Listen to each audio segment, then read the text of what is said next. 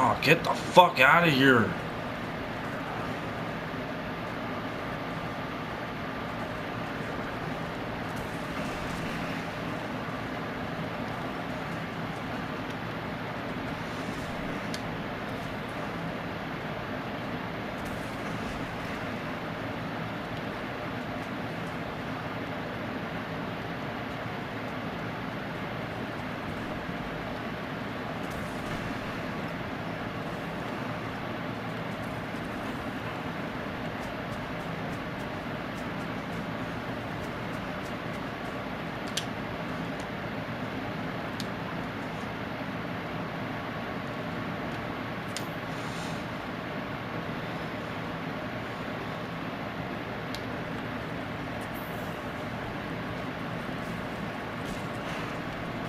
Oh my god.